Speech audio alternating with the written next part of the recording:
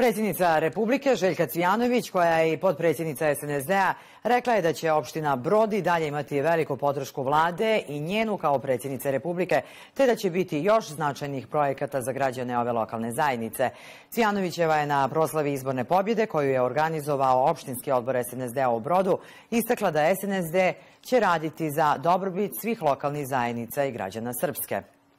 Mi smo ovdje da obilježimo i neke druge stvari. Kapacitet Republike, sposobnost da provedemo izbore, da pobjedimo na tim izborima, da brzo formiramo vlast, da imamo već novu vladu koja je izabrana i evo ta nova vlada danas zajedno sa Narodnom skupštinom i u Narodnoj skupštini raspravlja o budžetu, pokazujemo dakle snagu, kapacitet da